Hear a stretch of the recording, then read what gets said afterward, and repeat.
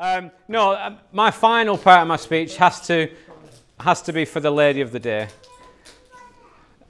This is br- oh.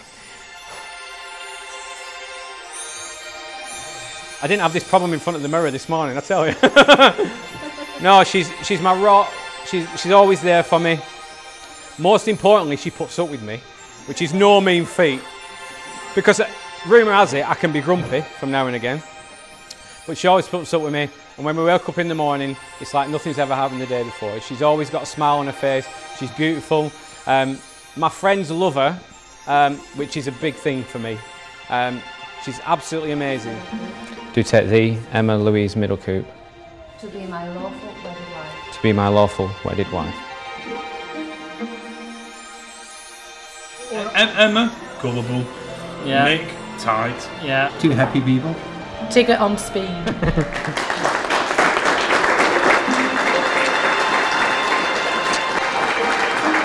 And we knew a very long time ago that Emma was the one for him and that he loved her very much, even more than he loves the whoopsie owl at Asda.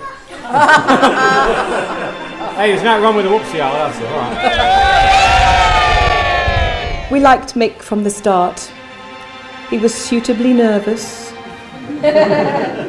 extremely polite, and even offered to contribute to the bill. Again, just that night.